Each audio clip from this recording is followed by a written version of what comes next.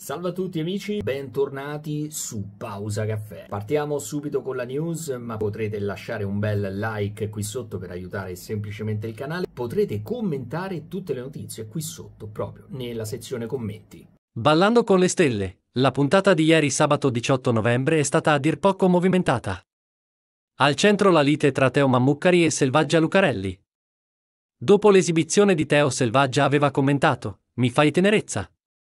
E decisa la risposta di Mammuccari, mi fai tenerezza non me lo dici a me, lo dici a un amico tuo, ma a me non me lo dici perché io mi sono messo in gioco e ho fatto cose che tu non faresti mai.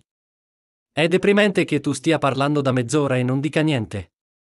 E Selvaggia Lucarelli, Milli, io ho voglia di dire delle cose, ma mi sembra che ci sia un'aria troppo pesante.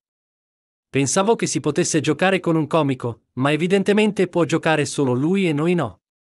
Smettila di interrompere. Lo show di Teo non è finito, ieri ha avuto modo di chiarire anche con Antonio Caprarica.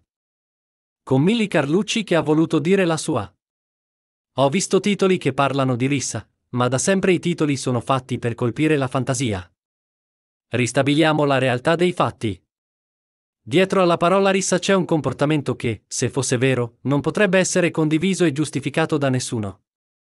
Una discussione con toni accesi. I toni accesi nei limiti di una dialettica dove non sono neanche volate parolacce o cose di questo genere. Nei limiti di una dialettica civile.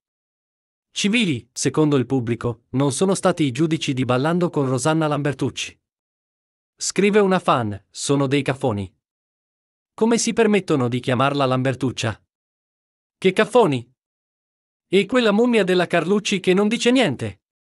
E ancora, la signora Lambertucci ce la mette tutta. E una donna educata e di classe.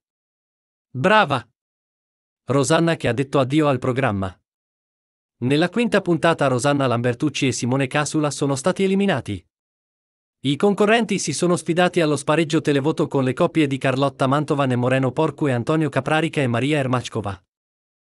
Il video finisce qui, ma se sei interessato alle news puoi iscriverti al canale e attivare la campanella per non perderti nuovi video.